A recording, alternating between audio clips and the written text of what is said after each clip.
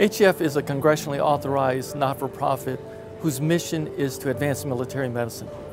As such, we leverage that to work with academia, industry, governmental organizations, and private individuals to find common interests that can advance uh, military medicine for the benefit of our nation's warfighters.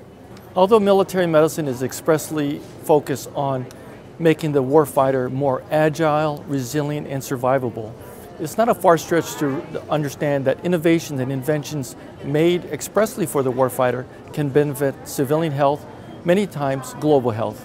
HF is very proud to direct the funds to the Uniformed Services University's Clinical Breast Care Project, whose focus is on the experience of patients undergoing breast care treatment. Today, I'm at the AUSA Annual Trade Show and Conference, the largest event for our Army customer. This year, we're again partnering with HJF to bring awareness to the need for medical research for our military families and more specifically, breast cancer research as part of our Stick It to Cancer campaign.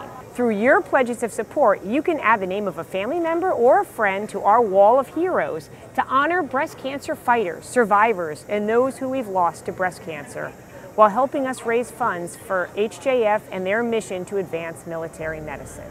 With me today is Dr. Caravalho, the President and CEO of the Henry M. Jackson Foundation for the Advancement of Military Medicine.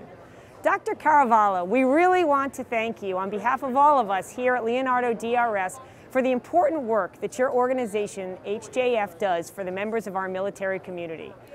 And with that, we'd like to present you with this $10,000 check to help continue with the important work in the advancement of research for our military members and their families.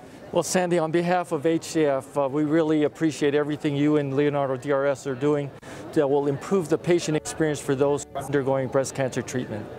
Wonderful.